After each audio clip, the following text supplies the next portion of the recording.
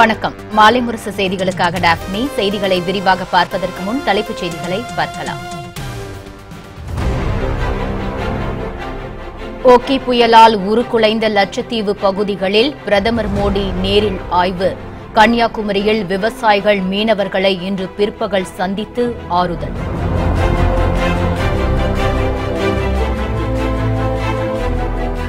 RK நகரில் தேர்தல் பிரச்சாரம் இன்று மாலையுடன் நிறைவடைகிறது. வெளியாட்கள் ஐந்து மணிக்கு மேல் தொகுதியை விட்டு வெளியேற வேண்டும் என உத்தரவு.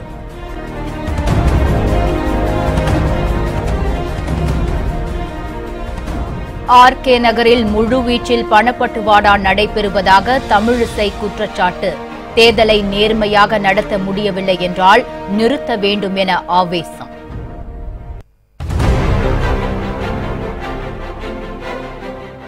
சென்னையில் முறையான அனுமதி இல்லாத பதினைந்தாயிரம் உணவகங்கள் மூடப்படும் அபாயம்.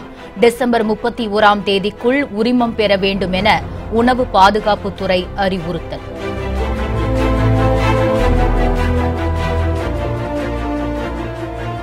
சனி பெயர்ச்சியை முன்னிட்டு திருநள்ளாறு கோவிலில் சிறப்பு வழிபாடு. தோஷ நிவர்த்திக்காக லட்சக்கணக்கானோர் புனித நீராடி சுவாமி தரிசனம்.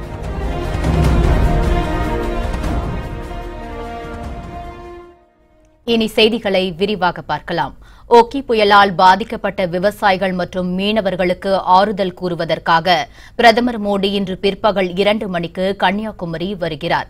ஓக்கி புயலால் பாதிக்கப்பட்ட லட்சத்தீவு கன்னியாகுமரி மற்றும் திருவனந்தபுரம் பகுதிகளில் சேதங்களை இன்று பார்வையிடும் பிரதமர் மோடி பாதிக்கப்பட்ட மீனவர்கள் மற்றும் விவசாயிகளை நேரில் சந்தித்து ஆறுதல் கூறுகிறார்.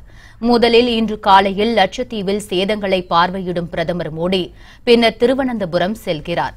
அங்கு பிரதமரை ஆளுநர் சதாசிவம் முதலமைச்சர் பினராயி விஜயன் உள்ளிட்டவர்கள் வரவேற்கின்றனர். பின்னர் திருவனந்தபுரத்தில் இருந்து ஹெலிகாப்டர் மூலம் கன்னியாகுமரி வருகை தரும் பிரதமர் மோடியை அரசு விருந்தினர் மாளிகையில் ஆளுநர் பன்வாரிலால் புரோஹித் முதலமைச்சர் எடப்பாடி பழனிசாமி துணை முதலமைச்சர் ஓ பன்னீர்செல்வம் மற்றும் அதிகாரிகள் வரவேற்கின்றனர் இதனையடுத்து விருந்தினர் மாளிகையில் உள்ள கூட்ட அரங்கில் விவசாயிகள் மற்றும் மீனவ பிரதிநிதிகளை பிரதமர் சந்திக்கிறார். அப்போது ஒக்கி புயல் சேத விவரங்களை கேட்டறியும் பிரதமர் மோடி பின்னர் டிஜிட்டல் தொழில்நுட்பத்துடன் தயாரிக்கப்பட்டுள்ள ஒக்கி புயல் சேதம் தொடர்பான படக்காட்சிகளை பார்வையிடுகிறார். பின்னர் மீண்டும் மாலை நான்கு மணிக்கு பிரதமர் மோடி திருவனந்தபுரம் செல்கிறார். பிரதமர் வருகையை அடுத்து கன்னியாகுமரி முழுவதும் விரிவான பாதுகாப்பு ஏற்பாடுகள் செய்யப்பட்டுள்ளன. சுமார் மூவாயிரம் போலீசார் பாதுகாப்பு பணியில் ஈடுபடுத்தப்படுகின்றனர் கடல் பகுதியிலும் கண்காணிப்பு தீவிரப்படுத்தப்பட்டுள்ளது.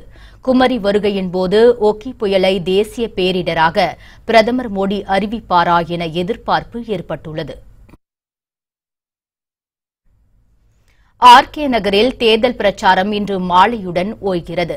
இது தொடர்பாக தேர்தல் ஆணையம் வெளியிட்டுள்ள அறிக்கையில் ஆர்கே நகரில் வாக்குப்பதிவு இருபத்தி ஒன்றாம் தேதி காலை எட்டு மணி முதல் மாலை ஐந்து மணி வரை நடைபெறும் என தெரிவிக்கப்பட்டுள்ளது. ஆர்கே நகர் இன்றுடன் தேர்தல் பிரச்சாரம் முடிவதால் தேர்தல் தொடர்பான கூட்டங்கள் ஊர்வலங்கள் நடத்த தடை விதிக்கப்பட்டுள்ளது. அரசியல் கட்சிகள் வேட்பாளர்கள் உள்ளிட்டோர் சமூக வலைதளங்கள் மூலமாகவோ அல்லது செல்போனில் குறுஞ்செய்தி போன்றவை மூலம் பிரச்சாரத்தில் ஈடுபடக்கூடாது எனவும் தெரிவித்துள்ளது. தேர்தல் பிரச்சாரத்திற்காக ஆர்கே நகர் தொகுதிக்கு வெளியே இருந்து அழைக்கப்பட்டவர்கள் மாலை ஐந்து மணிக்கு மேல் அத்தொகுதியை விட்டு வெளியேற வேண்டும் என குறிப்பிட்டுள்ள தேர்தல் ஆணையம் இன்று முதல் தேர்தல் நடைபெறும் இருபத்தி ஒன்றாம் தேதி வரை தேர்தல் குறித்த கருப்பு கருத்து கணிப்புகளை வெளியிடவும் தடை விதித்துள்ளது. விதிமுறைகள் மீறப்பட்டால் இரண்டு ஆண்டுகள் சிறை அல்லது அபராதம் அல்லது இவை இரண்டும் சேர்த்து தண்டனையாக விதிக்கப்படும் எனவும் தேர்தல் ஆணையம் எச்சரிக்கை விடுத்துள்ளது.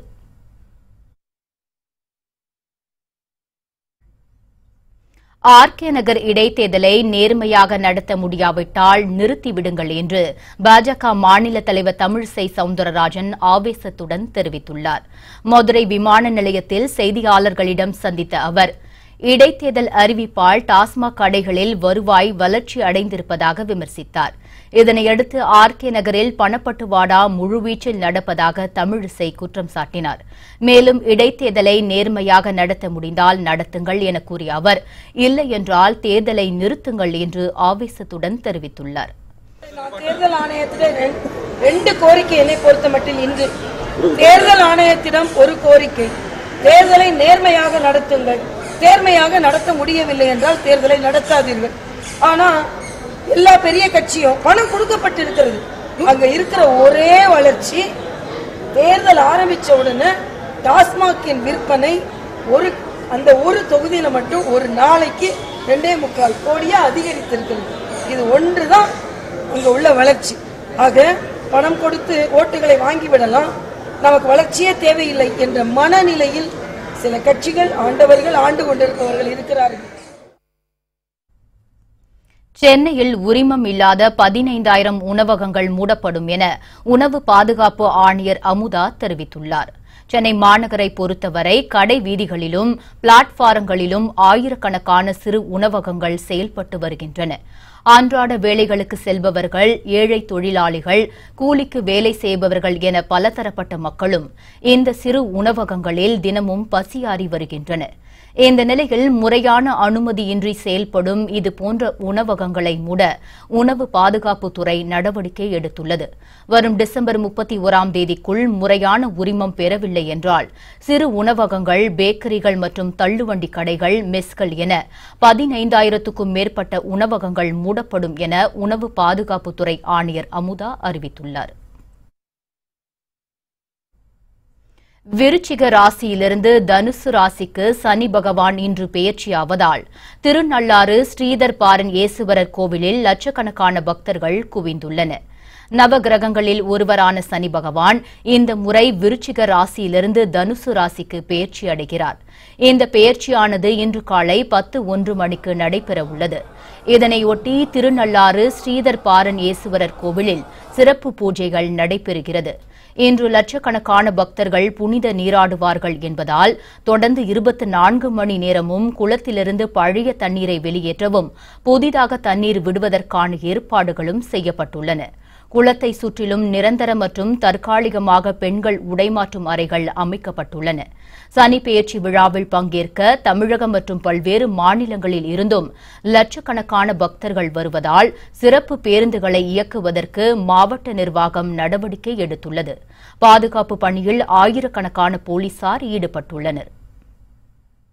இந்த ஜோதிடவியல் படி சனீஸ்வரன் என்கிற இந்த மந்தமான கிரகம் ரெண்டரை வருஷத்துக்கு ஒரு தடவை ஒரு ராசியிலிருந்து இன்னொரு ராசிக்கு இடப்பெயர்ச்சி ஆவார். அது மாதிரி இந்த வருடம் ரெண்டாயிரத்தி பதினேழில் விருச்சிக ராசியிலிருந்து தனுசு ராசிக்கு பத்து மணி ஒரு நிமிடத்திற்கு அவர் இடப்பெயர்ச்சி ஆகிறார். அந்த காக்கை வாகனத்தில் வீற்றிருக்கிற அந்த பெருமானை வேண்டி வேண்டின்னு அங்கே பக்கத்தில் இருக்கிற நலதீர்த்தத்தில் சென்று எண்ணெய் தேய்த்து முழுகி அதற்கு பின்னாலே இங்கே வந்து பெருமான ச- சனி பகவானை வழிபட்டால் எல்லா நன்மைகளும் கிடைக்கும். நாம் ஜோதிடம் இவைகளையெல்லாம் பெருமானினுடைய வழிகளை சொல்லிக் கொண்டிருந்தாலும் இதற்காக நாம் பயந்து கொண்டிருக்க வேண்டியதில்லை. விதியை மதியால் வெல்லலாம். குஜராத் சட்டமன்ற தேர்தலில் பாஜகவுக்கு பின்னடைவு ஏற்பட்டிருப்பதாக திராவிடர் கழக தலைவர் கி. வீரமணி தெரிவித்துள்ளார். திமுக பொதுச் செயலாளரும் முன்னாள் நிதி அமைச்சருமான பேராசிரியர் க. அன்பழகனின் தொன்னூற்று ஆறாவது பிறந்த நாள் இன்று கொண்டாடப்படுகிறது. இதன் ஒரு பகுதியாக சென்னை எழும்பூரில் உள்ள தந்தை பெரியாரின் சமாதியில் அன்பழகன் மலர் வளையம் வைத்து மரியாதை செலுத்தினார். அப்போது திமுக செயல் தலைவர் மு ஸ்டாலின் முதன்மை செயலாளர் துரைமுருகன் உள்ளிட்டோர் உடனிருந்தனர். மேலும் திராவிடர் கழக தலைவர் கி. வீரமணி அன்பழகனுக்கு பெரியார் எழுதிய புத்தகத்தை பிறந்தநாள் பரிசாக வழங்கினார். இதனையடுத்து செய்தியாளர்களிடம் பேசிய கி. வீரமணி குஜராத் சட்டமன்ற தேர்தலில் பாஜகவுக்கு பின்னடைவு ஏற்பட்டிருப்பதாக சுட்டிக்காட்டினார். குஜராத் இமாச்சல் பிரதேசத்துல மட்டுமல்ல உத்தரப்பிரதேசத்தில் இருபத்தி மூணு சதவீதம் வாங்கி தான் ஆட்சிக்கு வந்திருக்கிறார் அதற்கு அவர் பட்ட பாடு இருக்கிறத மிகப்பெரிய அளவிற்கு வந்திருக்கிறார்கள்.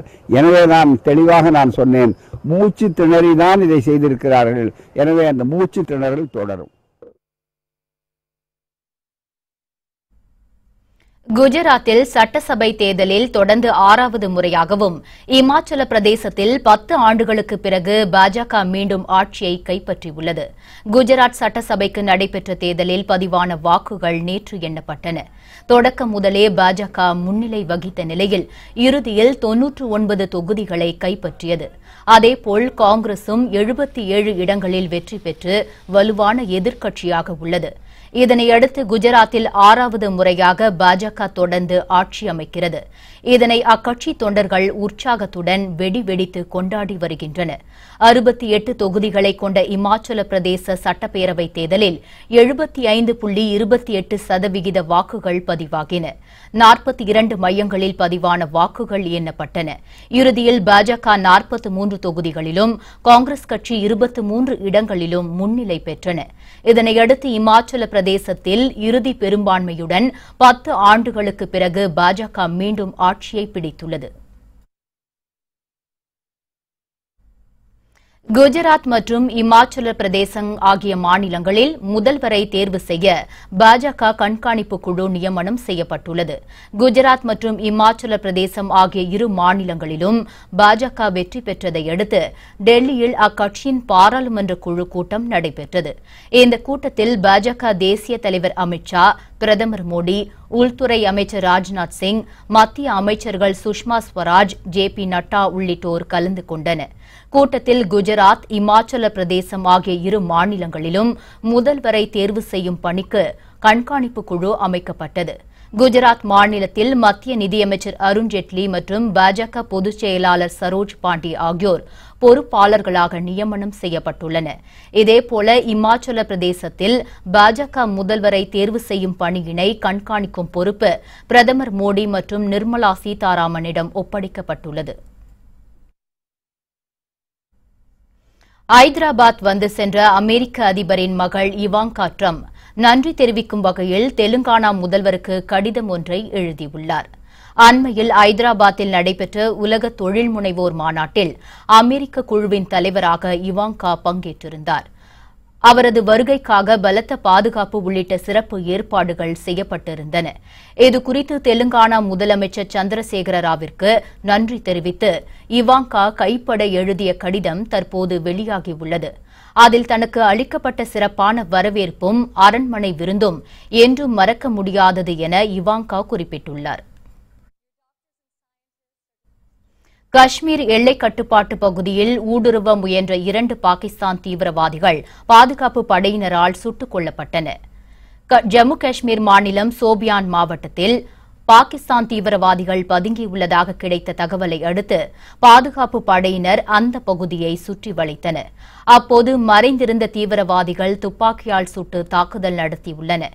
இதற்கு ராணுவத்தினரும் தக்க பதிலடி கொடுத்துள்ளனா் இரு தரப்பினரிடையே நடைபெற்ற கடும் துப்பாக்கி சண்டையில் இரண்டு பாகிஸ்தான் தீவிரவாதிகள் சுட்டுக் கொல்லப்பட்டனர் மேலும் அந்த பகுதியில் மறைந்துள்ள தீவிரவாதிகளை தேடும் பணி தொடர்ந்து நடைபெற்று வருகிறது.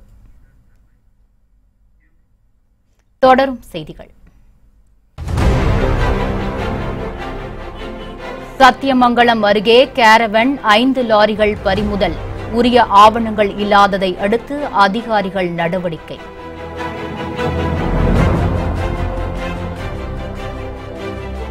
தனியார் பள்ளி வாகனத்தில் சிக்கி இரண்டு வயது குழந்தை உயிரிழப்பு. ஓட்டுநரை கண்டித்து ஆம்பூர் அருகே பொதுமக்கள் போராட்டம்.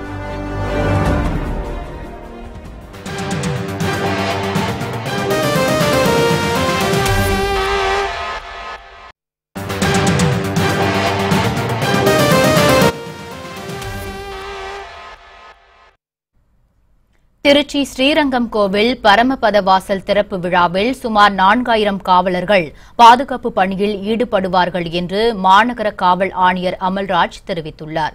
திருச்சி ஸ்ரீரங்கம் ரங்கநாதர் கோவிலில் வைகுண்ட ஏகாதசி திருவிழாவின் பகல் பத்து நிகழ்ச்சி இன்று முதல் வரும் இருபத்தி எட்டாம் தேதி வரையிலும் இரா பத்து இருபத்தி ஒன்பதாம் தேதி முதல் ஜனவரி எட்டாம் தேதி வரையிலும் நடைபெறவுள்ளது.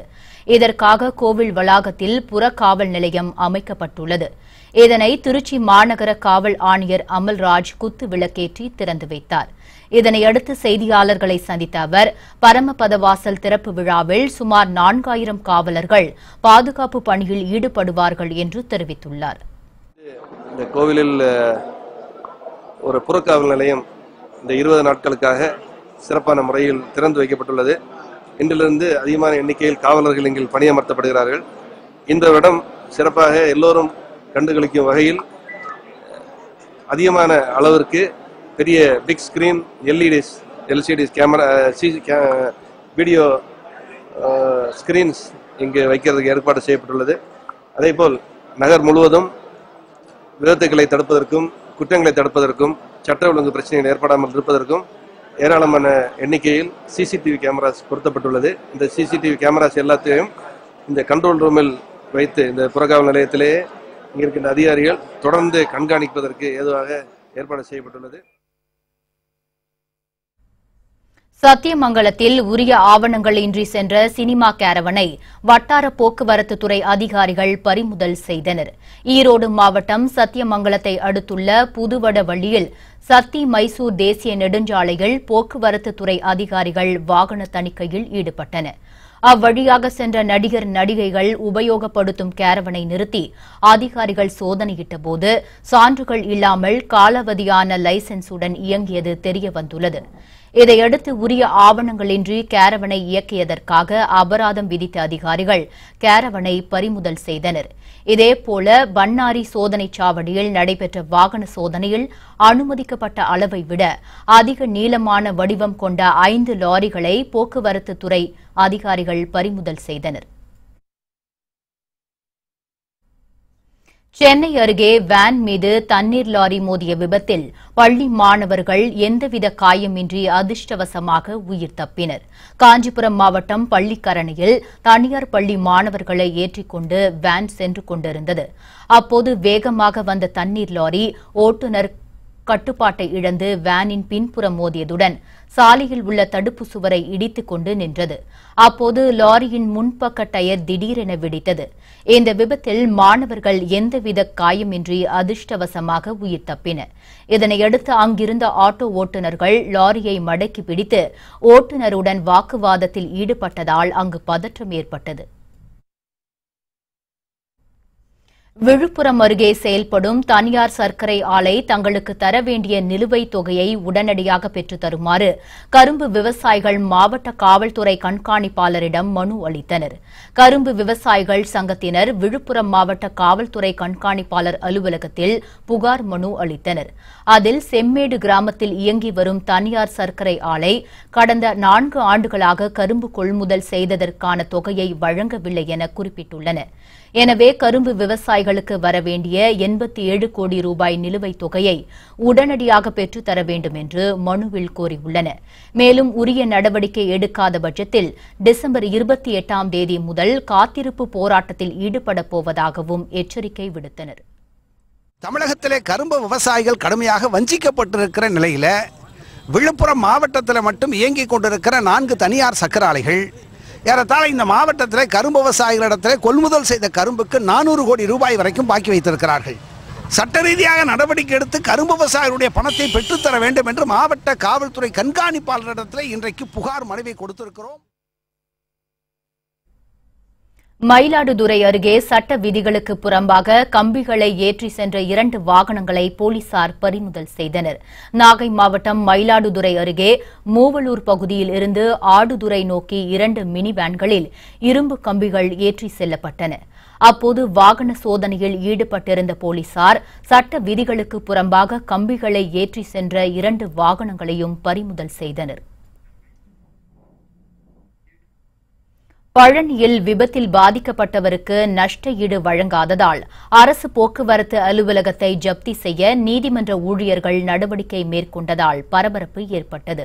பழனி அருகே மென்பொருள் இன்ஜினியராக முனிராஜ் என்பவர் அரசு பேருந்து மோதி கோமா நிலையில் சிகிச்சை பெற்று வருகிறார். இதையடுத்து அவரது தந்தை தொடர்ந்த வழக்கில் அவரது சிகிச்சைக்காக இருபது லட்சம் ரூபாயை நஷ்ட ஈடாக வழங்க பழனி சார்பு நீதிமன்றம் உத்தரவிட்டது. இந்நிலையில் பத்து வருடம் ஆகியும் நஷ்ட ஈடு வழங்காததால் அரசு போக்குவரத்து அலுவலகத்தை ஜப்தி செய்ய நீதிமன்றம் உத்தரவிட்டது. தொடர்ந்து நீதிமன்ற ஊழியர்கள் அலுவலகத்தை ஜப்தி செய்ய முயன்றதால் பரபரப்பு ஏற்பட்டது. இதையடுத்து அதிகாரிகள் பேச்சுவார்த்தை நடத்தி விரைவில் பணம் கொடுப்பதாக உறுதியளித்தனர். ஆண்டிப்பட்டி அருகே வேகமாக பரவி வரும் மர்ம காய்ச்சலால் பொதுமக்கள் அச்சமடைந்துள்ளனர். தேனி மாவட்டம் ஆண்டிப்பட்டி அடுத்த ஜக்கமாள்பட்டியில் நூற்றுக்கும் மேற்பட்ட குடும்பங்கள் வசித்து வருகின்றன. இங்கு கடந்த சில நாட்களாக மர்ம காய்ச்சல் பரவி வருகிறது.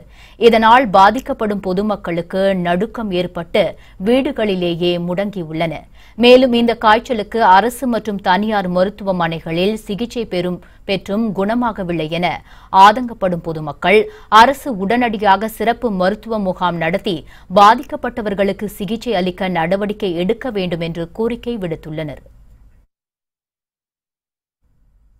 கரூர் மாவட்ட ஆட்சியர் அலுவலகம் முன் குடும்பத்துடன் பிச்சை எடுத்து நூதன முறையில் போராட்டத்தில் ஈடுபட்ட நபரால் பரபரப்பு ஏற்பட்டது.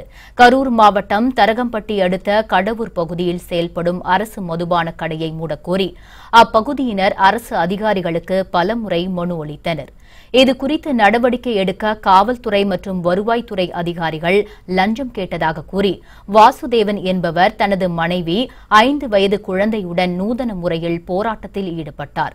மாவட்ட ஆட்சியர் அலுவலகத்தில் அதிகாரிகளுக்கு எதிரான வாசகங்கள் அடங்கிய பதாகைகளை ஏந்தியும் பிச்சை எடுத்தும் போராட்டத்தில் ஈடுபட்டதால் பரபரப்பு ஏற்பட்டது. இதுவரை இருநூறு மனு மாவட்ட ஆட்சியருக்கு அளிக்கப்பட்டுள்ளது எந்த மனு மீதும் நடவடிக்கை எடுக்கவில்லை. பொதுவாக ஒரு அரசு அலுவலகத்தில் வந்து ஒரு குறிப்பிட்ட மனு மீது நடவடிக்கை எடுக்கவில்லை என்றால் இரண்டு காரணங்கள் தான் இருக்க முடியும். ஒன்று அவர்கள் எங்களிடம் லஞ்சம் எதிர்பார்க்கிறார்கள். இல்லை என்றால் எதிர்த்தரப்பிடம் லஞ்சம் பெற்று விடுறார்கள் என்று அர்த்தம். இந்த அடிப்படையில் எங்களிடம் லஞ்சம் எதிர்பார்க்கிறார்கள் என்ற காரணம் அடிப்படையில் நாங்கள் இன்று குடும்பத்தோடு பிச்சை எடுத்து எங்களுக்கு கிடைக்கக்கூடிய பணத்தை நாங்கள் மாவட்ட ஆட்சியர்கள் அளிக்கப் போகிறோம். மீண்டும் அடுத்து ஒவ்வொரு வாரமும் நாங்கள் திங்கட்கிழமை இதே போல் பிச்சை எடுத்து மாவட்ட ஆட்சியர்கள் அளி- அளிப்பதாக முடிவு செய்து இந்த பிச்சை எடுக்கும் போராட்டத்தை இன்று துவங்கியுள்ளோம். தென்னக பன்னாட்டு மையத்தின் சார்பில் தஞ்சாவூரில் சுவரோவிய முகாம் நடைபெற்றது. தஞ்சாவூர் தென்னக பன்னாட்டு மையம் தமிழ்நாடு கர்நாடகா கேரளா மற்றும் அந்தமான் உள்ளிட்ட மாநிலங்களில் பாரம்பரிய கலைகளை வளர்க்கும் மையமாக திகழ்ந்து வருகிறது. இம்மையம் சார்பில் தஞ்சாவூரில் தென்னிந்திய அளவிலான சுவரோவிய முகாம் நடைபெற்றது. இதில் பல்வேறு மாநிலங்களைச் சேர்ந்த நூற்றுக்கும் மேற்பட்ட ஓவியர்கள் கலந்து கொண்டு தங்களின் எண்ண ஓட்டத்தை ஓவியமாக வெளிப்படுத்தினர். நோக்கம் என்னன்னு பார்த்தீங்கன்னா அந்தந்த மாநிலத்தில் உள்ள கலைகளை வந்து மேற்படுத்தணும் ஊக்குவிக்கணுங்கிற ஒரே நேரத்தில் இந்த இயக்குனர் வந்து பண்ணியிருக்காரு. இதனால வந்து பார்த்தீங்கன்னா ஒவ்வொரு மாநிலத்தில் போய் நம்ம நேராக போய் அந்த ஓவியத்தை வந்து போய் பார்க்க முடியாது. இங்கே அவங்க பண்ணுறத நம்மளும் பார்த்துக்கிறோம் நம்ம ஸ்டைலில் அவங்களும் பார்த்துக்கிறாங்க. இது வந்து பார்த்தீங்கன்னா ஒரு நல்ல ஒரு ஊக்குவிப்பாக இருக்குது இந்த சிவர் மூலமாக நேஷனல் அவார்டு ஸ்டேட் அவார்டு வாங்கக்கூடிய அனைத்து கலைஞர்களும் இவ்வரங்கத்திலே வர வச்சு எல்லாருடைய ஓவியங்களுமே இங்கே ஒரு மிக பிரதிபலிப்பாக இருக்குது இப்போ தென்னக பண்பாட்டு மையம் தான் ஒரு அருங்காட்சியம் சொல்லலாம். ஆனால் அந்த அருங்காட்சியம் ஒவ்வொரு மாநிலத்திலையும் இருக்கக்கூடிய ஓவியங்களையும் இந்த சுவர் மூலமாக ஒவ்வொரு அருங்காட்சியகமாகவே தான் நம்ம இதை சொல்லலாம்னு இது இந்த கலையை வந்து வளர்க்குறதுக்கான ஒரு வாய்ப்பை ஏற்படுத்தியிருக்காங்க. புதுக்கோட்டை அருகே தனியார் பண்ணை வீட்டில் பதுக்கி வைக்கப்பட்டிருந்த பதினோரு லட்சம் மதிப்பிலான மது பாட்டில்களை அதிகாரிகள் பறிமுதல் செய்தனர். புதுக்கோட்டை மாவட்டம் கணபதிபுரத்தில் உள்ள தனியார் பண்ணை வீட்டில் மது பாட்டில்கள் பதுக்கி வைத்திருந்ததாக மாவட்ட மதுவிலக்கு பிரிவு அதிகாரிகளுக்கு தகவல் கிடைத்தது. இதையடுத்து சம்பவ இடத்திற்கு சென்ற காவல்துறையினர் சோதனை மேற்கொண்டனர். அப்போது அங்குள்ள ஒரு குடோனில் பதினோரு லட்சம் ரூபாய் மதிப்பிலான மது பாட்டில்கள் பதுக்கி வைக்கப்பட்டிருந்தன. இதையடுத்து அவற்றை பறிமுதல் செய்த காவல்துறையினர் சம்பவம் தொடர்பாக அருண் என்பவரை கைது செய்து விசாரணை நடத்தி வருகின்றனர். விழுப்புரம் அருகே ஏரியில் மூழ்கி உயிரிழந்த கார் டிரைவரின் உடலை தீயணைப்பு வீரர்கள் தேடி வருகின்றனர். விழுப்புரம் அருகே உள்ள இரவல்பட்டு கிராமத்தை சேர்ந்த கார் டிரைவரான பிரபாகரன் தனது நண்பர்களுடன் அதே பகுதியில் உள்ள ஏரியில் குளிக்க சென்றார். அப்போது பிரபாகரன் நீண்ட நேரமாகியும் தண்ணீரை விட்டு வெளியே வராததால் அதிர்ச்சியடைந்த அவரது நண்பர்கள் ஏரியில் தேடியுள்ளனர். இதையடுத்து அவர்கள் காவல்துறையினருக்கும் தீயணைப்பு துறையினருக்கும் தகவல் கொடுத்தனர். சம்பவ இடத்திற்கு வந்த தீயணைப்பு வீரர்கள் ஏரியில் மூழ்கிய பிரபாகரனின் உடலை தேடி வருகின்றனர். இச்சம்பவம் அப்பகுதியில் பெரும் சோகத்தை ஏற்படுத்தியுள்ளது.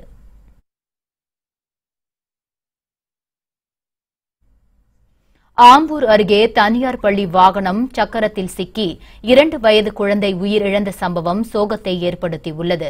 வேலூர் மாவட்டம் ஆம்பூர் அடுத்த ராமச்சந்திராபுரத்தை சேர்ந்த கார் மெக்கானிக் அன்புவின் மகள் ஷாலினி மேல்பட்டியில் இயங்கி வரும் தனியார் பள்ளியில் யுகேஜி படித்து வருகிறார்.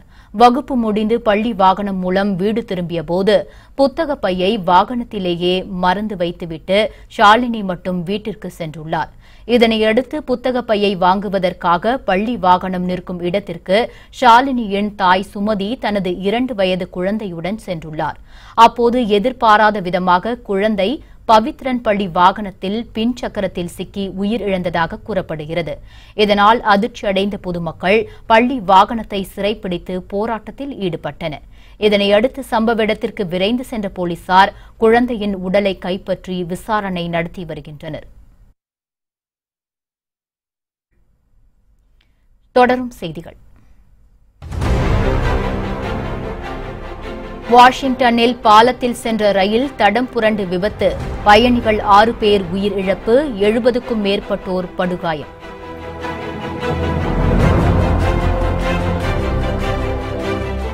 ஜூனியர் சர்வதேச குத்துச்சண்டை போட்டி. இந்திய வீரர்கள் ஆறு தங்கம் உட்பட பதினோரு பதக்கங்களை கைப்பற்றி அசத்தல்.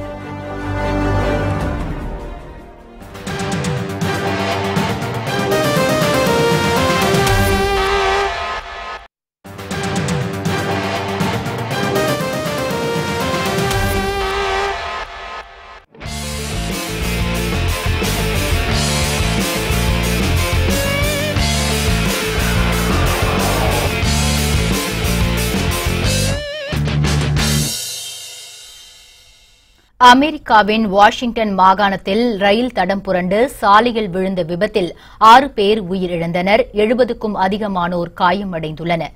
அமெரிக்காவின் சியாட்டியிலிருந்து போர்ட்லாண்டிற்கு எழுபத்தி எட்டு பயணிகள் மற்றும் ஐந்து ரயில் ஊழியர்கள் குழுவோடு புதிய ரயில் தன் முதல் பயணத்தை தொடங்கியது. முதல் ஓட்டத்தின் போது நூற்று முப்பது கிலோமீட்டர் வேகத்தில் பாலத்தின் மேல் ஓடிய ரயிலின் இரண்டு பெட்டிகள் தடம் புரண்டு நெடுஞ்சாலையில் கவிழ்ந்து விழுந்து விபத்துக்குள்ளானது. இந்த விபத்தில் ரயிலில் இருந்த பயணிகளில் ஆறு பேர் உயிரிழந்தனர். மேலும் காயமடைந்த எழுபதுக்கும் அதிகமான பயணிகள் சிகிச்சைக்காக மருத்துவமனையில் அனுமதிக்கப்பட்டுள்ளனர் தகவல் அறிந்து சம்பவ இடத்திற்கு சென்ற போலீசாரும் மீட்பு படையினரும் மீட்பு மற்றும் நிவாரண நடவடிக்கைகளில் ஈடுபட்டனர். இந்த விபத்திற்கான காரணம் குறித்து விசாரணை நடைபெற்று வருகிறது.